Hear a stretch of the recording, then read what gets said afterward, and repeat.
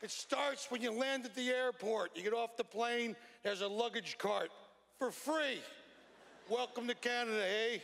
That same luggage cart in the States is five bucks. Here, it's free because you guys practice a socialist capitalism where you make money, but you still have somewhat of a soul.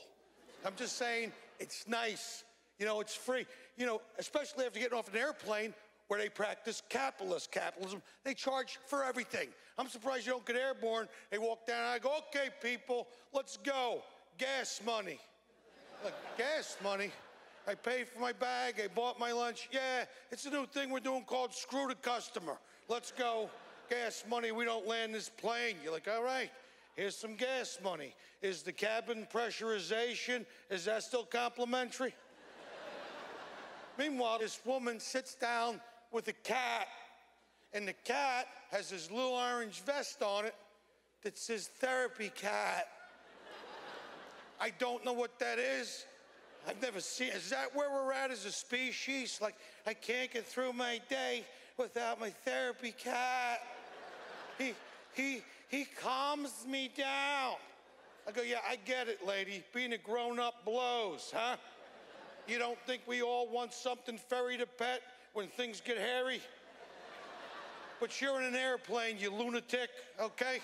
And if the nine prescription pill bottles in your purse ain't getting you there, I hardly think the therapy cat's gonna take you over the top. I love animals. I would never drag a cat onto an airplane. We're talking about an animal that freaks out over a vacuum cleaner. I mean, how the hell you think he's going to handle a 737? Sure enough, the plane takes off, the cabin decompresses, the poor cat starts losing it.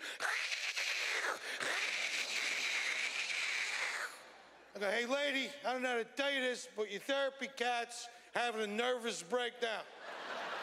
oh, oh, sure, you're fine, but your therapy cat's having a conniption. Now, what does he get? A therapy mouse? Uh, a CNI chicken? A guy was on a Delta flight with an emotional support turkey strapped in in the middle seat.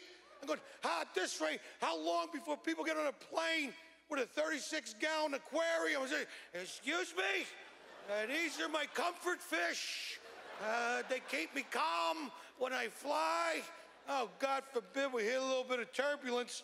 Next thing you know, we're all in the middle of a wet t shirt contest having sushi for lunch because you're afraid to fly. No wonder there's no more customer service. I don't got to tell you people, you're out there. They, they, want you to check yourself out at the supermarket. I was picking a couple of guys, goes, yeah, let's go over there and check yourself out. I was like, I don't work here. Did I accidentally fill out a job application while I was over in the produce section? I thought that was a survey. I'm not taking the 15 minute shift on self checkout. I don't know the code for a mango.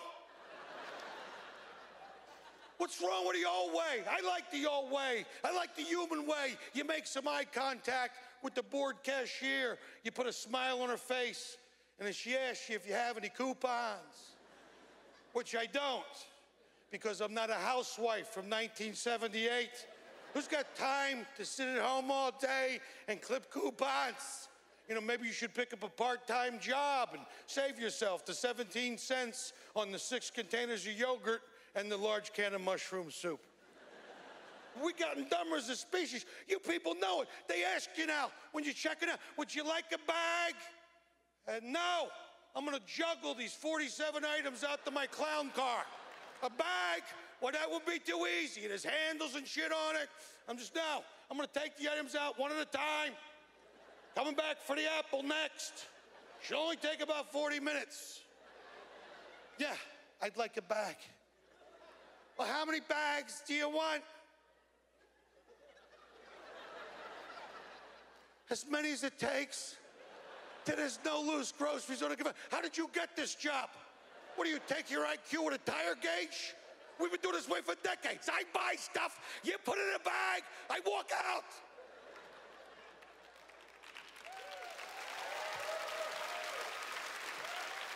Does this business model work anywhere else? You go to a restaurant, order a bowl of soup. Did you bring your own bowl? Uh, no. Just ladle the hot liquid into my hands, and I'll lick it off my blistered palms. What's that split pea? That's delicious. I'm walking ice cream store or ice cream. Did you bring your own cone? No. I was just gonna lay underneath the center nozzle and let you fill my face with soft serve till I tap out in a diabetic coma. Yeah, I want a bowl, I want a bag, I want a cone. You know what I don't want to do? I don't want to build my own burger. I could do that at home.